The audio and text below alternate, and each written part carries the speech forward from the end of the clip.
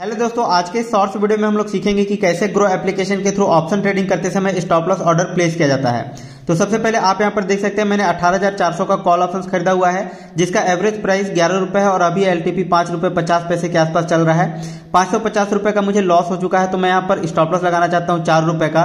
तो स्टॉपलस लगाने के लिए सिंपली आपको यहाँ पर क्लिक करना होगा फिर एड स्टॉपलस पर क्लिक करना है। फिर यहाँ पर आपको प्राइस डाल देना है कितने रुपए का आप स्टॉपलस लगाना चाहते हैं। ध्यान रहे जो मार्केट का एलटीपी है उससे कम होना चाहिए।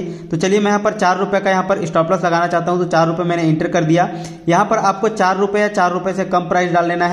या फिर आप यहाँ पर क्रॉस करके हटा भी सकते हैं। तो मैं यहाँ पर चार रुपए डाल दूँगा, इसके बाद सेल पर क्लिक कर दूँगा। जैसे ही आप सेल पर क्लिक करेंगे सेल ऑर्डर प्लेस हो चुका है डन पर क्लिक कर देना है।